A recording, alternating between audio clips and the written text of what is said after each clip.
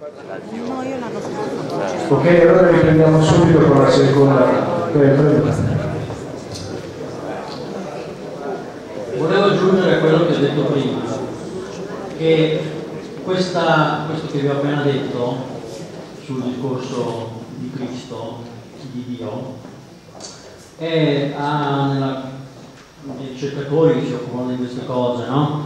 Quindi eh, Miglino, Mane, Pinotti, ha aperto una grande discussione al nostro interno, quindi meno male siamo tutti d'accordo su questa cosa con varie sfumature, le distingo. Proprio ieri lo dicevo a Miglino, guarda, secondo me quelli che, di cui parli tu non sono quelli che sono qui oggi. Lui mi ha risposto sì, è probabile che succeda questo, che sia, che sia così. Io traduco il Vecchio Testamento e dall'ebraico io vedo questo. Ma questo perché? Perché oggi nessuno di voi fa sacrifici agli dei bruciando le viscere degli animali, no? Quindi cioè, è chiaro che a questo punto noi siamo stati lasciati in pace per almeno 2000 anni.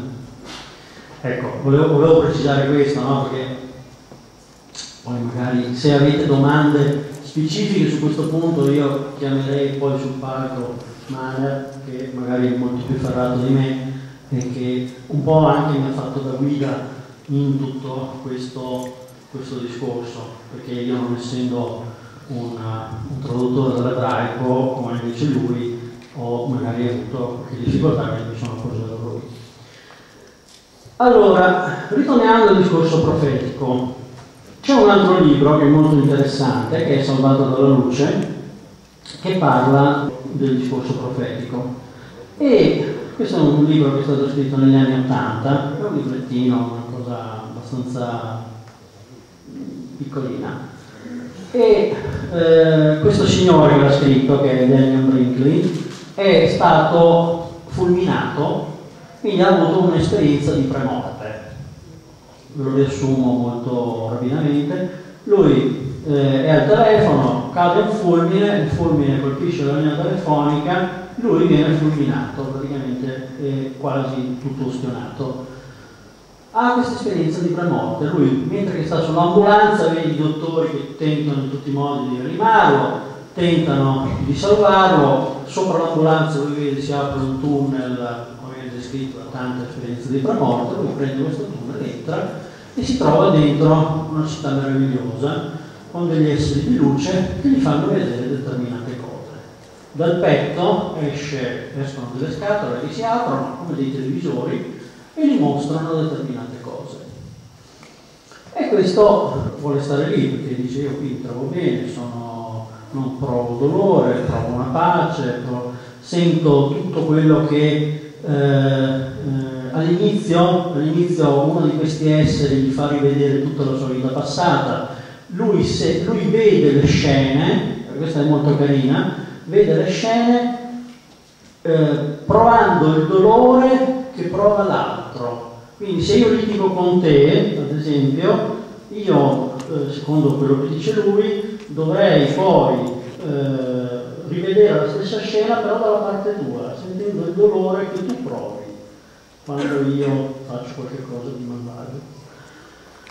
E quindi dopo questo appunto gli vengono mostrate queste, queste scatole, gli viene mostrato dei, dei, dei pezzi di futuro e questa è una cosa abbastanza particolare. E quindi vengono mostrate queste 12 scatole, che poi in realtà sono 13, dove vengono mostrati appunto, ad esempio Chernobyl, l'esplosione di Chernobyl, viene eh, mostrata una guerra eh, fra la Cina e la Russia, viene mostrato un, um, una guerra araba, viene mostrato gli arabi che marciano attraverso l'Europa, viene mostrata una guerra atomica, ma prima di questo gli viene mostrata quello che lui chiama l'ascesa dell'anticristo. E la figura dell'anticristo è una figura simbolica, ovviamente. Non, non prendetela, molti pensano all'anticristo come demone contro demone. No, l'anticristo poteva essere Hitler, poteva essere Napoleone, no? quindi figure estremamente malvagie che hanno cambiato il futuro di tantissime persone. Questo è inteso come intendete questo quando si parla di anticristi. E lui dice che questa, questa persona sarà un medico e eh, creerà un microchip molto piccolo e molto potente che sarà addirittura biologico e questa cosa sarà inserita sotto cute e servirà a schiavizzare tutta l'umanità. Io quando ho letto questa roba, erano negli anni 80, non è rimasto un po' perplesso, perché ho detto, ma mi sembra strano, perché negli anni 80 noi già avevamo un settore di impianti, no? impianti ufologici.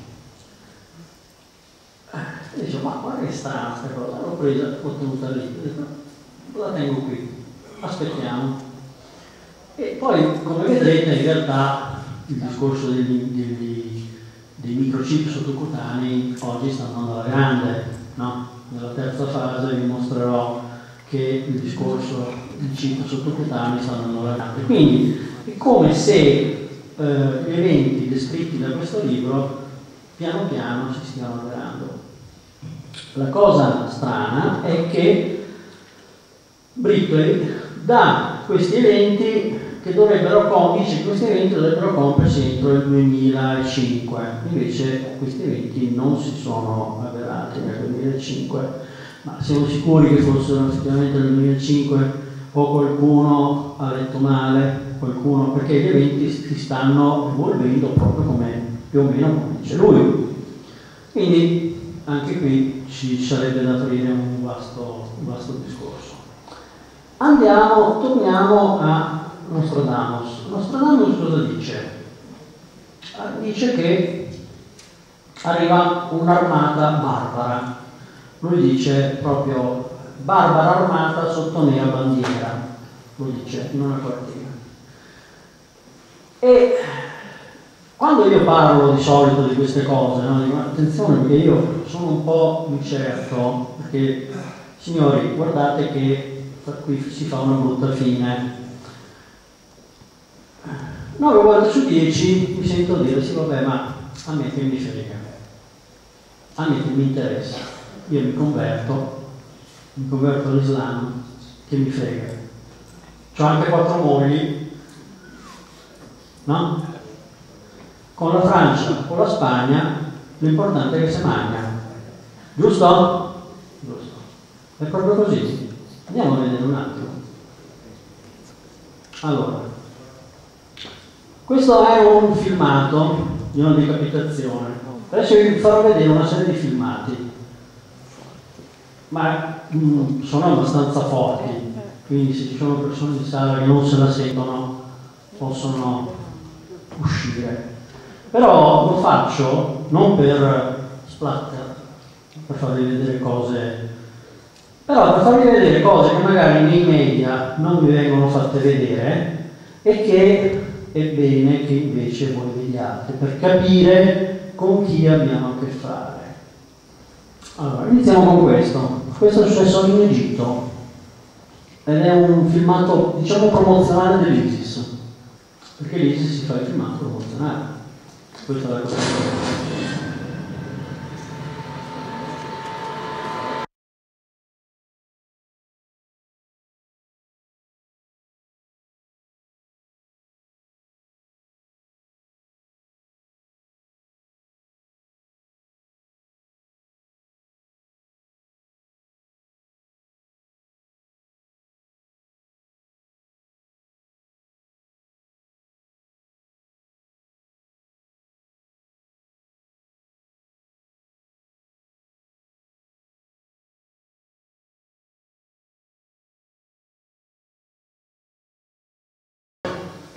Questo era un blindato. Ok? Quindi non è uno. Quando fanno queste cose non parte uno, partono in cento, partono in mille. Ok? Vediamo un altro.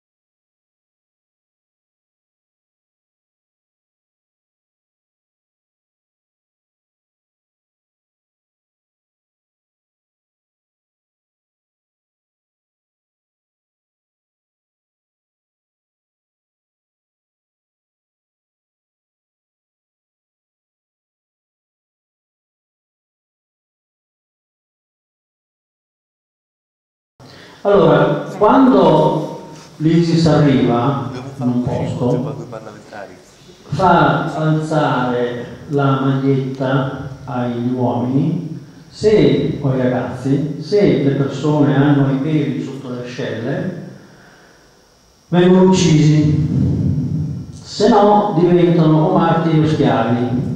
Per le donne invece è istituita la schiavitù, schiavitù sessuale. Quindi le donne vengono prese, vengono messe all'asta, al miglior offerente. Quindi attenzione che il discorso di dire mi arrendo non funziona. Mi converto non funziona. Questi tagliano la testa. Ok? Bene, spero di essere stato chiaro su questo. Allora, al Palazzo Reale, fuoco celeste, quando Marte la luce si estinguerà. Per sette mesi grande guerra e la gente morirà per maleficio. Il re non abbandonerà Rouen. Allora, il maleficio potrebbe essere un fallout dovuto alle radiazioni, eh, ma potrebbe essere anche altre cose. Saturno e Marte nel, Leone, nel Leone, quando la Spagna prigioniera sarà, dal capo libico al conflitto preso, vicino a Malta, Ered preso vivo e lo scelto governo romano sarà battuto dal Gallo, Francia. Quindi Saturno e Marte in Leone, questa è una congiunzione astronomica, ci dà il tempo, quando la Spagna prigioniera sarà, quindi la Spagna verrà conquistata.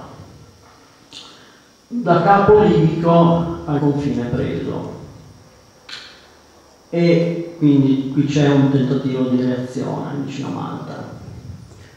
E lo scettro romano sarà abbattuto dal Gallo, quindi la Francia praticamente eh, in qualche modo commissionerà l'Italia, quindi lo scettro, il governo, il governo romano verrà destituito dalla Francia. Su solare città, l'uccello reale, notturno vaticinio, darà sette mesi prima, darà sette mesi prima. Il muro d'Oriente fra lampi e tuoni crollerà, sette giorni presto alle porte i nemici saranno. Allora, solare città è Roma, indiscutibilmente questa è Roma. Quindi ci sarà un presagio di un uccello luminoso, nel nostro caso il nostro classico UFO, che verrà visto molto bene e eh, dopo sette mesi ci sarà una forte guerra in Oriente che fra lampi e tuoni crollerà e dopo ci sarà, partirà l'invasione. I nemici alle porte saranno. Macchina di fuoco volante, il grande capo assediato colpirà e dentro si formerà grande rivolta, così che gli sconfitti saranno in distrazione. Qui, qui possiamo pensare tutto quello che vogliamo, macchina volante o un, bombardamento, da, sicuramente un bombardamento dall'alto, non si sa da parte di chi. Ecco, questa invece è interessante ed è la partina 54 Centuria 6 che ci dà una chiave temporale perché dice all'alba, sul del giorno, al secondo canto del gallo, quel di Tunisi, di Fez e di Bugie dagli arabi catturato re del Marocco l'anno 1607 della liturgia. Allora, su questo 1607 della liturgia si sono spesi fiumi e fiumi di parole. Perché? Perché eh, molti pensavano, ad esempio San Pietro, che la liturgia fosse nata, eh, questo lo dice lui, nel 392. In effetti questo è vero, però eh, quindi l'anno 1607 della liturgia va a sommarsi a quei 392, quindi abbiamo 1607 più 392. Ma Mm, non è così perché l'anno della liturgia, secondo me, è l'ascesa del papato da parte di Celestino I, che è quello che effettivamente ha codificato la, la liturgia dal punto di vista ecclesiastico. e quindi siamo nel 422.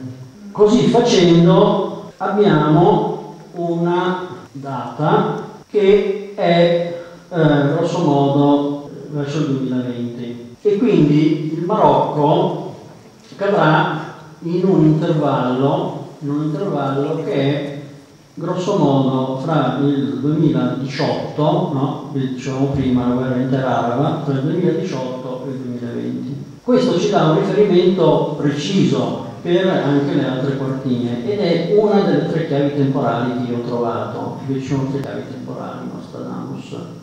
Eh, c'è questa nelle quartine, ce n'è una nelle sestine che guarda caso dà esattamente la stessa data, stessa, lo stesso tipo di datazione e poi ce n'è una terza basata sul calendario lunare. Folgorante luce apparirà a Lione, abbagliante presa Malta, subito si estinguerà. Eh, Sardi, Mauris tratterà ingannandoli, Ginevra e Londra dal, al Gallo al Gallo faranno tradimento. Quindi ci sarà anche qui una folgore che apparirà in cielo a Lione, Malta verrà presa e eh, poi sarà la volta della Sardegna che a sua volta verrà conquistata, verrà ingannata e conquistata, quindi verrà promesso la, probabilmente la salvezza, no? Bisogna sì, vabbè, ti arrendi, non ti facciamo niente, e poi invece verranno distrutti. E eh, anche qui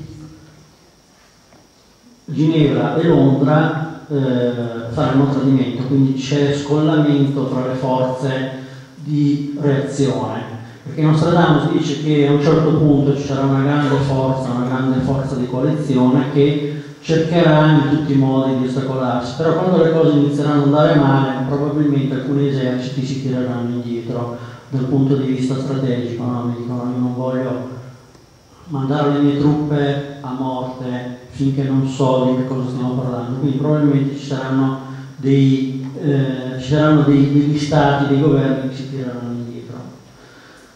Anche perché questi signori useranno delle armi nuove.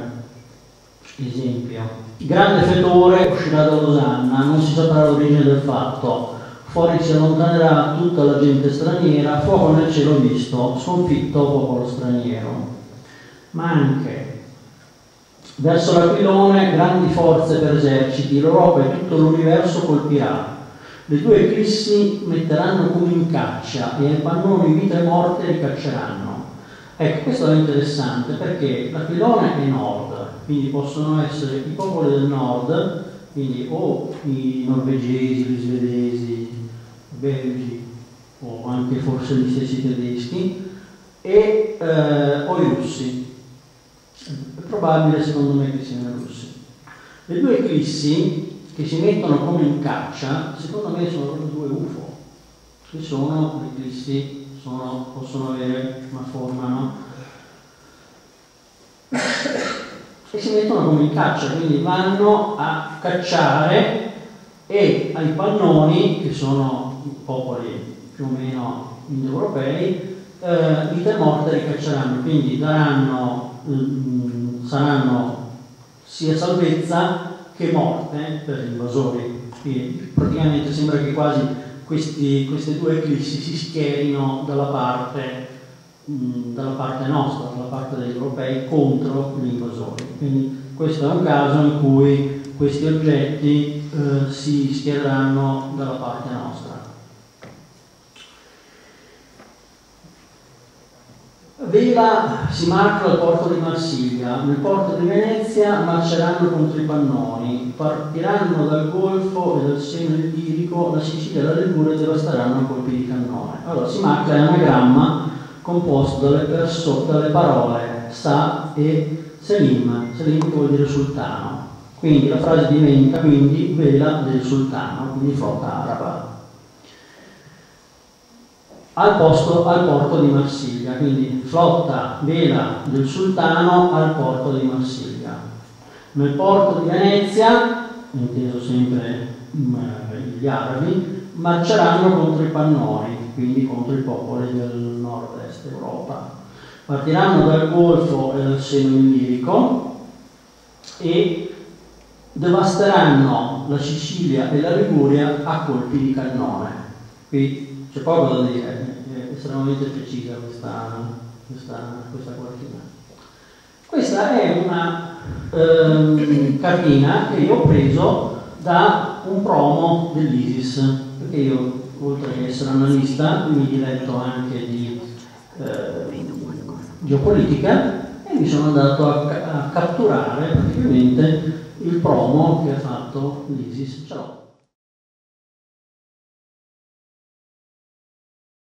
E queste sono le tre direttrici che vi dicevo prima di invasione, come vedono l'invasione dell'Europa.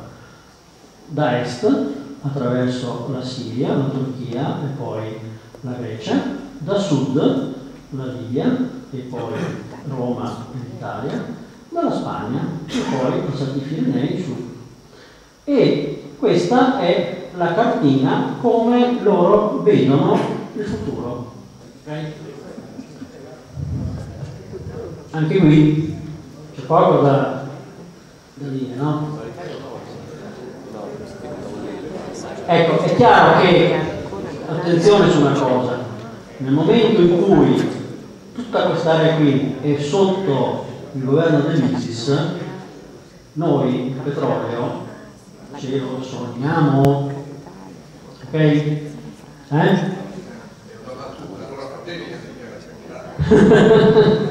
allora, quindi noi il petrolio ce lo sogniamo. Quindi la chiave di lettura quale potrebbe essere? Che questi signori facciano, conquistino queste aree e poi ci lasciano per un tot di anni a boccheggiare senza petrolio. E quando noi non avremo più petrolio, a quel punto partirà l'attacco. No? Beh, se io dovessi fare una cosa, un attacco, lo farei a questo punto così, direi sì, vabbè, tu hai le scorte, non c'è problema, io ti lascio dieci anni senza una goccia di petrolio, poi vediamo le tue scorte come, cosa, cosa ne fai. No? E siccome oggi i carri gli aerei, tutto quanto va a petrolio, perché noi siamo stupidi e avevamo la tecnologia di Tesla ma non, non l'abbiamo voluto usare, ecco questi sono i risultati. Andiamo avanti. Tutti fuggite da Ginevra. Saturno da oro si cambierà in ferro. Il contrario, Rapoliaz sterminerà tutti. Prima del compimento si vedranno dei segni nel cielo. Allora, questo qui ci sarebbe il mondo da dire, io sul mio libro faccio tutta una serie di ipotesi. Comunque, ehm, il satrapo è, eh, che potrebbe essere Rapoiaz, perché Rapoiaz è anagramma di Zofirà, che è un noto satrapo persiano, potrebbe essere una persona che con un espediente, un tradimento, a, a, mh, aprirà, farà entrare l'invasore a Ginevra. Ma potrebbe essere anche qualche cosa legato alle altre energie. Eh, perché Roberts, che è un altro analista di Nostradamus, dice che questa, questa raparianza eh, riguarda le radiazioni atomiche. È interessante notare che proprio a Ginevra c'è l'LHC, no? l'acceleratore di particelle, e eh, Rapoiaz potrebbe essere contrario Rai-Poz e quindi potrebbe essere un Rai, sono raggi Poz positivi, quindi Rai contrario Rai-Poz, Rai contrario ai positivi potrebbero essere negativi, quindi potrebbe essere qualcosa che è legato a quello che oggi si sta studiando a Ginevra, che è l'energia negativa che come non so se lo sapete, ma permea il 70 passa per cento del, dell'universo. Poi c'è la materia oscura che permea un altro 27% dell'universo e il rimanente 3 o 4% è l'universo che noi vediamo. Tutto quello che noi vediamo, galassie, sistemi stellari, pianeti, eh, neutroni, positroni, eccetera, è la materia che noi vediamo, che è il 4, solo il 4% dell'universo. Tutto il resto è materia oscura, e non sappiamo nulla di che cos'è, e energia oscura. Ce ne siamo solo accorti perché questa cosa interagisce con noi a livello gravitazionale, se no non ci accorgevamo neanche di quello. Okay? Se ne sono accorti perché? Perché le galassie girano più velocemente e quindi vuol dire che c'è una massa in più che è più grande rispetto alla massa che ci dovrebbe essere. Comunque, comprate le scienze di settembre di questo mese, c'è un articolo dedicato proprio all'energia oscura e alla materia oscura. È anche abbastanza comprensibile. Barbaro conflitto sotto nera bandiera. Sangue sparso nella Dalmazia scossa. Il grande Ismaella disporrà la sua sede a Rans, Trema, soccorsi in Lusitania. Barbaro conflitto sotto nera bandiera. Se voleva dire una cosa, meglio di così non la poteva dire. No? L'ISIS ha una nera bandiera.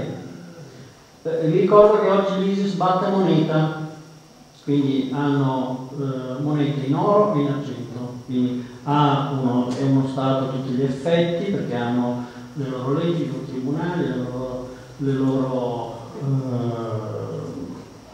loro, il, loro, esercito, i loro eh, medici, loro, hanno tutto, si sono fatti uno Stato quindi sono autoproclamati califfato, anche se non sono riconosciuti poi dagli altri stati.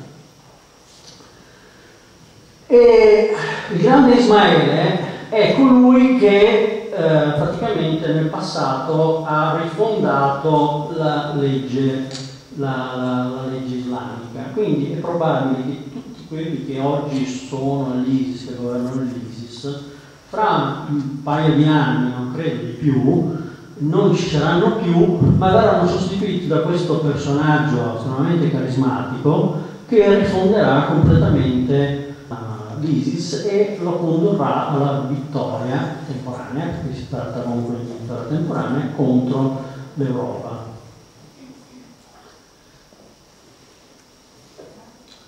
Quando il ferreo pesce con sigillata lettera Fuori uscirà chi puoi fare la guerra. Avrà nel mare ben armata la sua flotta ed apparirà presso le terre italiane. Allora, quando il ferro pesce con sigillata lettera, che vuol dire questa cosa? Allora, se io ho una visione e vedo un sottomarino, cosa descrivete voi? Un pesce fatto di ferro e da questo pesce fatto di ferro esce la, la frase 2, fuori uscirà chi poi farà la guerra, con lettera sigillata. Quindi chi poi farà la guerra porta degli ordini con lettera sigillata alle persone che sono già in loco. Quindi è possibile, anzi è molto probabile, vedendo quello che sono le informazioni oggi che dicono che il loco oggi, oggi noi abbiamo 4.000 jihadisti pronti al combattimento in Europa, è possibile che ci siano delle forze che sono già in loco e sono pronte ad aprire un fronte interno e a colpire obiettivi sensibili nostri in coordinata con l'invasione che abbiamo visto prima. Quindi noi avremo, riassumo, l'invasione dalla Grecia, da sud, dalla Spagna, ma avremo anche il fronte interno che si apre. Quando? Quando ci sarà questo sommergibile che emergerà e porterà gli ordini. Alcuni mi chiedono, ma perché non li mandano via mail? Perché, li, perché è, più, è più impenetrabile portare un pizzino, no? come diciamo noi. È più importante portare in qualche cosa di riservato, per cui questo, questa cosa riservata viene portata in maniera non intercettabile da tutti i vari sistemi elettronici di comunicazione tipo Echelon che noi europei e americani abbiamo messo in piedi. E questo sarà il preludio all'invasione perché poi avrà nel mare ben armato la sua flotta, quindi c'è una flotta che arriva e apparirà presso le strade italiane. Quindi c'è una flotta che poi arriva, quindi come vedete si lega tutto tra le varie partine e poi si lega il discorso. Napoli, Palermo, Sicilia, Siracusa, nuovi tiranni, Forgoli, fuochi celesti, fuoco di Londra, Gran Bruxelles Susa, Grande Ciglio, Trionfo far festa. E qui chiaramente eh, siamo in pieno conflitto e le forze armate dell'invasione vanno su e attaccano i vari punti europei. Quindi l'Italia viene sbaragliata, la Grecia viene sbaragliata, la Spagna viene sbaragliata, passano su per la Francia, entrano in Germania e tentano di andare su. A quel punto non si sa cosa succede, fuochi celesti, c'è qualcuno che interviene, o c'è un'arma stellare, un'arma satellitare che interviene dall'alto, o qualcun altro interviene, fatto sta che c'è un grande eccidio e si vince, quindi si vince una battaglia e si fa festa. Quindi noi a questo punto facciamo festa. Ma ci sarà un grande eccidio, quindi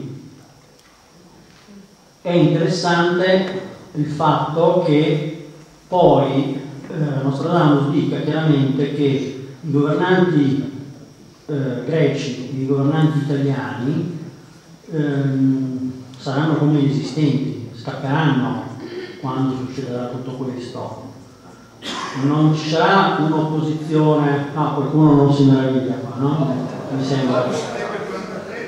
Ecco, quindi dopo, dopo il 43 mi, mi dicono non è una novità, quindi qualcuno vedendo quello che succede sale sul primo aereo e dice vabbè sapete che c'è, arrangiatevi e quindi noi verremo lasciati completamente in balia degli eventi.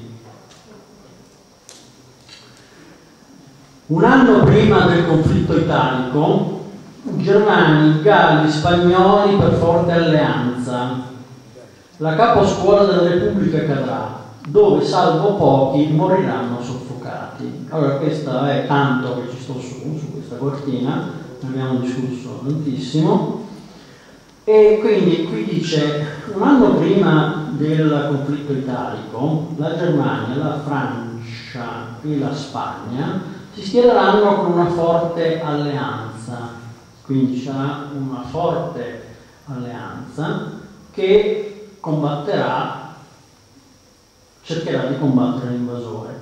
La capitale della Repubblica, qualcuno ipotizza Parigi, ma potrebbe essere anche una città diversa, potrebbe essere Bruxelles, potrebbe essere Strasburgo.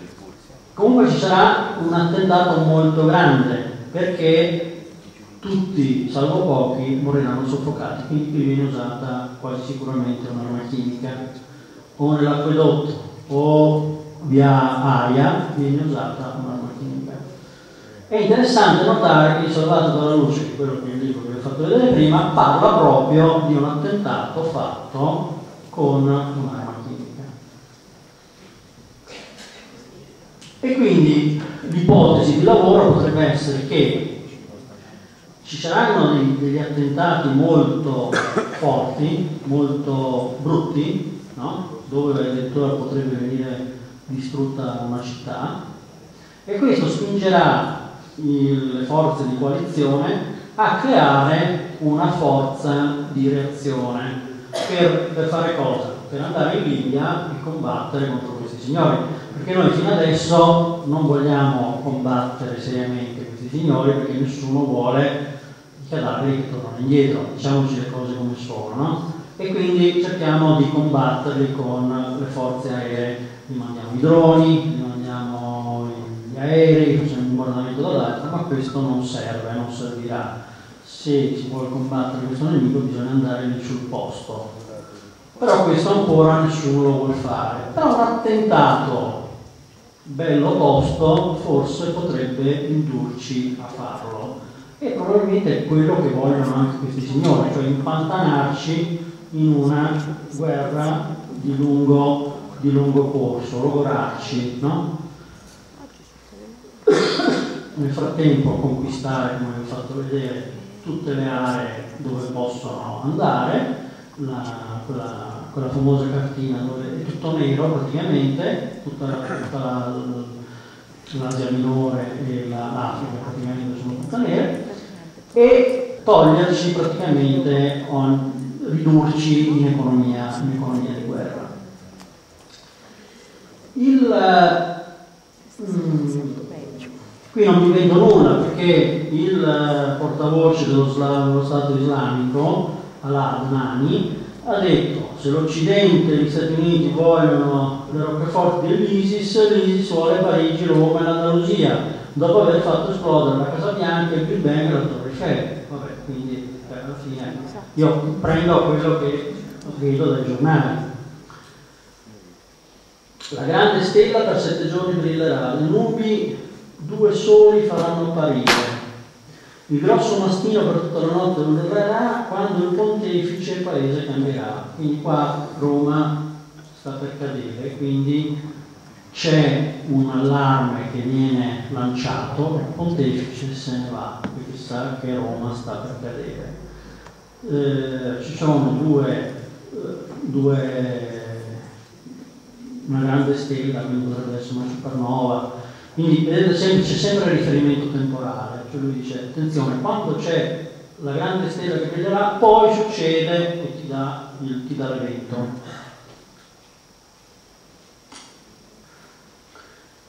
Durante l'apparizione della stella chiamata, tre grandi principi diventeranno nemici, colpita dal cielo la tremolante pace terrestre.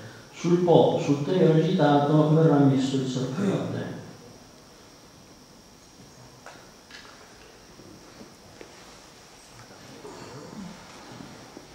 Vabbè, questa è una, una un quartina di carestia, piogge di sangue, di latte, carestie, ferro, peste, nel cielo saranno visti fuochi, eccetera, eccetera.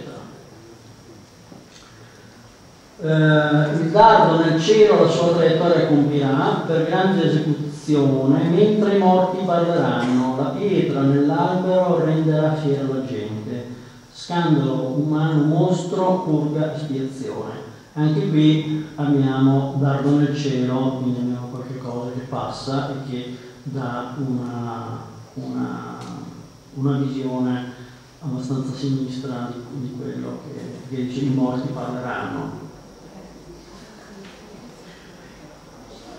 Crociata setta e gamma snada, si innalzerà in Mesopotamia. Chiarissimo questo, no? L'ISIS nasce proprio in quei territori dal vicino fiume esercito o compagnia leggero, questa legge sarà nemica, quindi questa legge sarà nostra nemica e farà una crociata setta, quindi farà una, crocia, una, una, una crociata contro di noi, sarà una gran musnata, quindi un esercito molto, all'inizio molto... Eh, Quartina molto interessante che dice alla Corsica non avvicinarti flotta francese, quindi qua è già iniziata l'invasione, però siamo ancora nella fase iniziale, e dice ancor meno alla Sardegna, tu te ne pentirai, tutti morirete, frustrati dall'affannoso aiuto, prigioniero sangue se non mi ci si crederà. Quindi lui cosa sta dicendo? Qui sta dicendo attenzione, non cercate di portare aiuto alla Corsica e alla Sardegna, perché se la Francia cercherà di fare questo, verrà distrutta, perché c'è qualche cosa che eh, o dei sondaggini in agguato o delle nuove armi. Quindi lui dice non avvicinatevi alle coste della, della Sardegna e della Corsica, perché ve ne pentirete, verrete tutti distrutti. Allora, qui è interessante perché io ho visto eh, sia in uh, Salvato la luce no, che si parla di un personaggio molto forte in Russia che emerge e senza dubbio si parla di Putin. Allora, mm, da quel che ho visto io, la Russia, quindi i popoli del nord del Pilon, sono dei popoli che ci potrebbero aiutare, ci potranno aiutare sicuramente contro questa invasione che verrà da sud.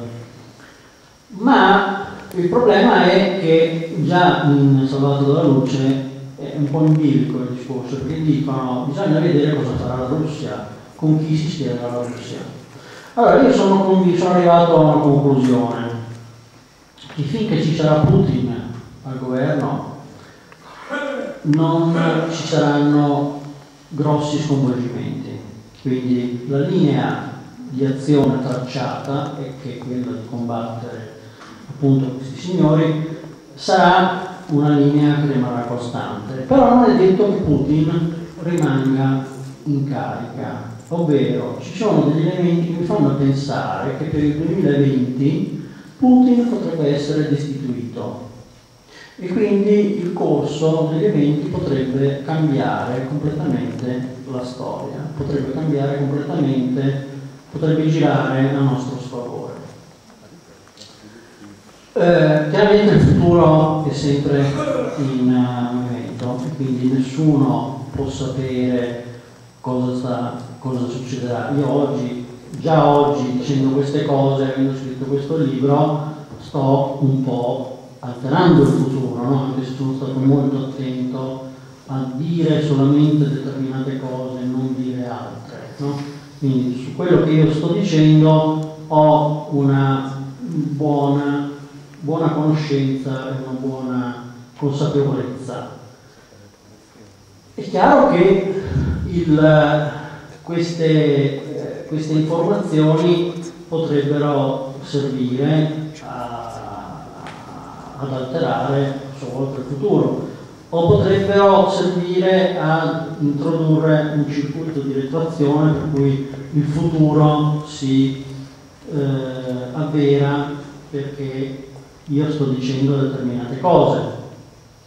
Eh, è un po' complicato il discorso, ma se voi immaginate che eh, ci sono persone che eh, potrebbero muoversi in un determinato evento, potrebbero fare determinate cose perché pensano che l'altro faccia determinate cose, forse capite che eh, forse capite questo meccanismo che si può, instaurare. Quindi io sono stato molto attento a non alterare questo equilibrio, però vi posso dire che da quello che vedo mh, mm, ci sono delle forze interne alla Russia, perché cosa succede? In Russia Nostradamus dice chiaramente che ci sono delle forze, specialmente dal sud della Russia, quindi dalla Cecenia piuttosto che dalla, dalla parte sud, che sono ostili, che si schiereranno con questa forza di invasione.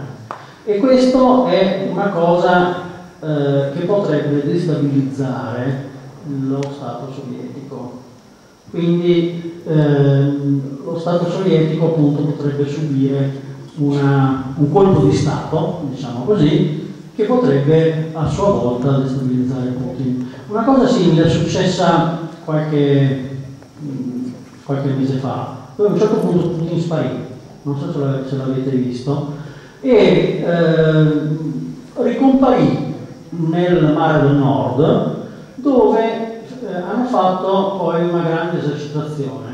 In quel momento, istantaneamente, noi siamo passati, abbiamo cambiato lo stato DEFCON. Lo stato DEFCON è la, il pericolo, diciamo, eh, è un'organizzazione civile che monitora il pericolo di una guerra nucleare. Quindi da livello 5 siamo passati, se non sbaglio, a livello 4, a livello 3. Quindi eravamo più vicini alla guerra nucleare. Perché? Perché Putin era sparito, perché il suo vice era sparito, perché il, il ministro della, della del ministro della difesa era sparito, quindi erano spariti tutti e tre, nessuno capiva cosa stava succedendo, allertano la flotta del mare del nord e fanno queste determinate esercitazioni. Allora, secondo me già in quel momento, poi magari mi sto sbagliando, però io ho questa chiave di lettura, in quel momento già c'è stato un tentativo di colpo di Stato E dove a questo punto si manda un obiettivo? Si manda nel posto più sicuro, su una nave, su un incrociatore, lanciamissili, no? nel mare del nord, con tutta la flotta che ti circonda. Quindi probabilmente Putin è stato già oggetto di un attentato che è andato male. Poi nel giro di tre giorni si è normalizzato tutto, siamo ritornati al Descon 5. Loro hanno fatto la loro esercitazione, tutto a posto, tutti felici, tutti contenti. Media hanno detto sì, è andato in Svizzera a vedere il figlio che stava nascendo, va bene, tutti felici, tutti contenti, va bene.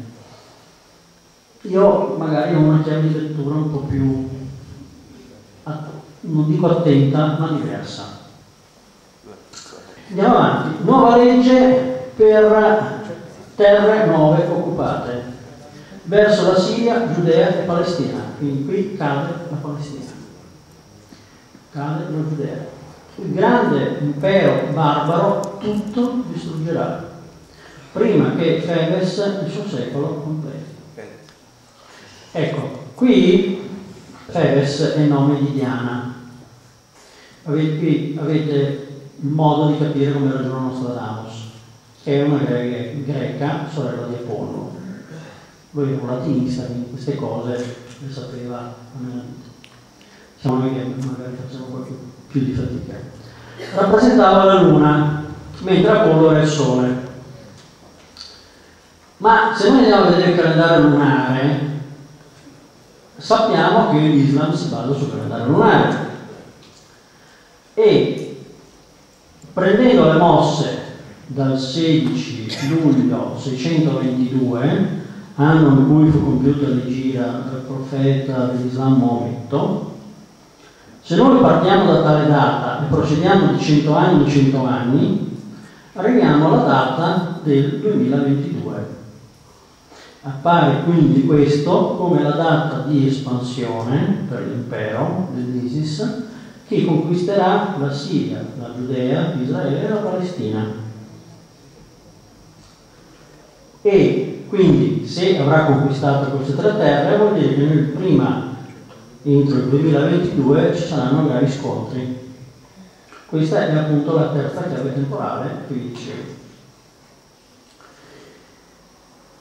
Ecco, queste chiavi temporali hanno una concretezza anche in altre cose.